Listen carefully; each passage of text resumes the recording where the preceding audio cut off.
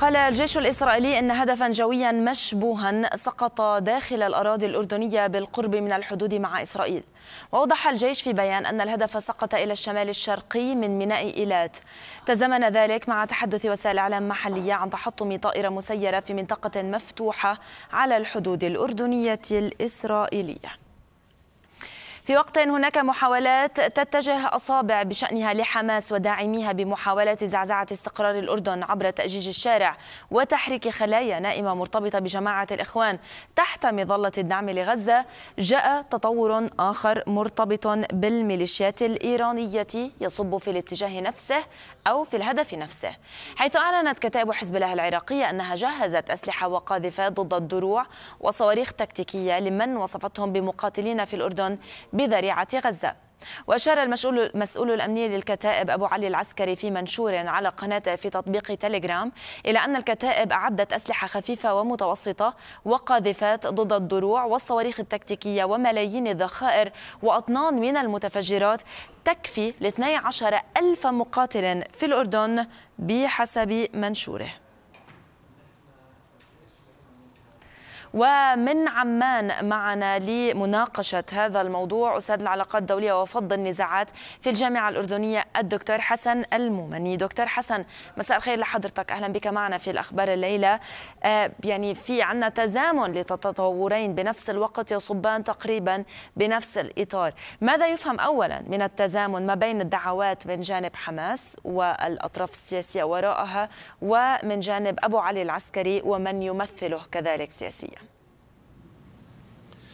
مساء الخير لك والمشاهدين الكرام. مما لا شك فيه يفهم أن هنالك حالة تنسيقية هنالك تحالف بين هذه القوى وبين حماس.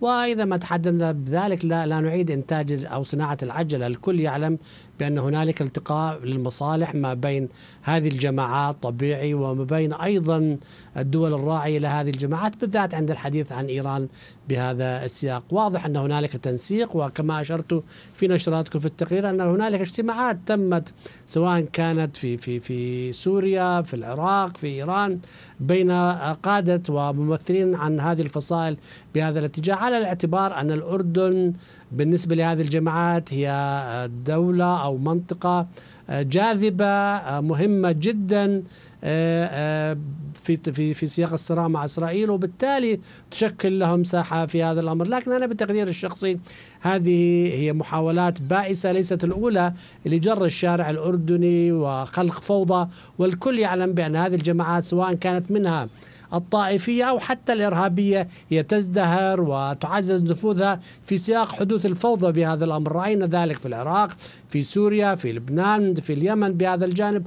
ومنذ عقود يعني أنا بتقدير الشخصي تعزز هذا الأمر مع تفجر الصراع في سوريا. منذ عام 2011 هنالك حقيقة محاولات محاولات دؤوبة من قبل هذه الجماعات سواء كانت في سوريا أم في العراق لاستهداف الأردن بهذا الجانب. الآن ما حصل في 7 أكتوبر وما يتحدث عنه من وحدة الساحات. أنا بتقدير الشخصي هذه الجماعات تبحث عن تعزيز للنفوذ تبحث عن انتصارات لأنه أيضا بنفس السياق هذه الجماعات يعني تخسر المواجهة.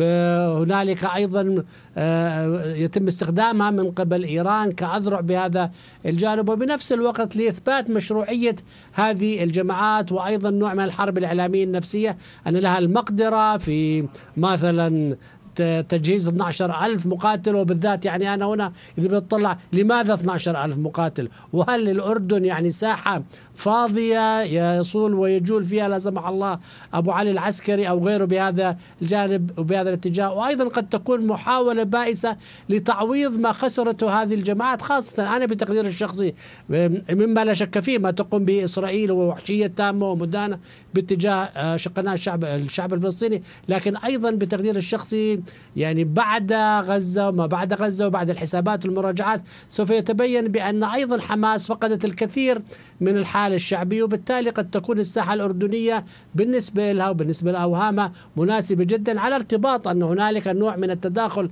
الأيديولوجي مثلا حماس حركة إخوان المسلمين أيضا نتحدث عن ما يسمى في المقاومة الإسلامية في العراق اللي هي في صورتها الأيديولوجية متناقضة حقيقة مع حماس أو مع مع الإخوان لكن هنالك جملة مصالح جمعتهم في هذا الجانب واضح التنسيق بهذا آه، الاتجاه. ورأينا متزامنة مع هذه التصريحات. في هنالك كان شوية تصعيد في الشارع الأردني ومحاولة لاستغلال آه، مشاعر المواطنين الأردني والشعب الأردني في سياق غزة على اعتبار أن يعني الكل يعلم مدى التداخل العضوي ما بين الأردن وما بين فلسطين. فلسطين. بطبيعة الحال أصلا دكتور حسن يعني المخاطر على الأردن لا نتحدث عنها من هذه الفترة فقط بظل هكذا دعوات من الجهتين. مرحلة المخدرات أيضا آه، المساعي التي حاولت فيها الأردن تواصل مع سوريا للوصول إلى تفاهمات وهذا أيضا لم يحصل يعني اليوم اعتماد الأردن بكثير من التهديدات آه، لماذا يصب التركيز على الأردن؟ موقع الأردن حساس جدا نعلم هذا الموضوع بس بنفس الوقت كيف يمكن حماية الأردن من كل هذه التهديدات بهذه الحالة؟ يعني حماية الأردن بهذه تعزيز الجبهة الداخلية حقيقة الأردنية.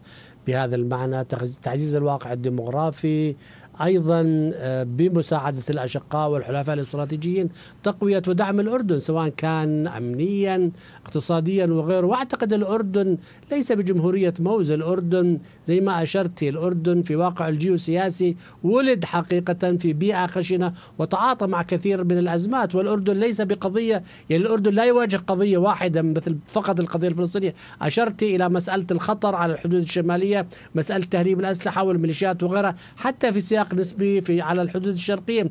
بهذا الجانب هنالك خبرة أردنية أمنية هنالك خبرة سياسية لكن مزيد من الوعي مزيد من من تعزيز الجبهة ومزيد من تعرية هذه المحاولات حقيقة وبنفس الوقت بتقدير الشخصي يجب أن يكون هنالك وهذا ممكن يكون موجود.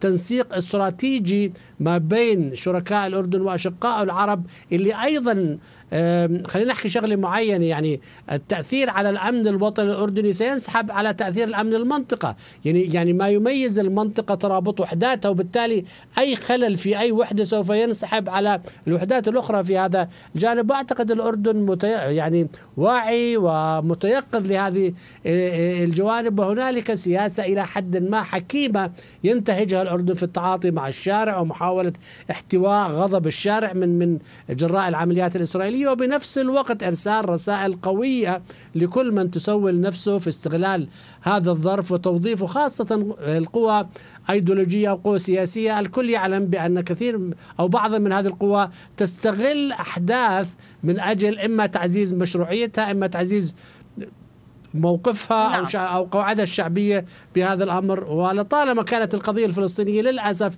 تستخدم كقضية من أجل توظيفها نعم. آه لانتاج آه، آه، نوع من الشعبية شكرا جزيلا لك ضيفنا من عمان أستاذ العلاقات الدوليه وفض النزاعات في الجامعة الأردنية الدكتور حسن المومني.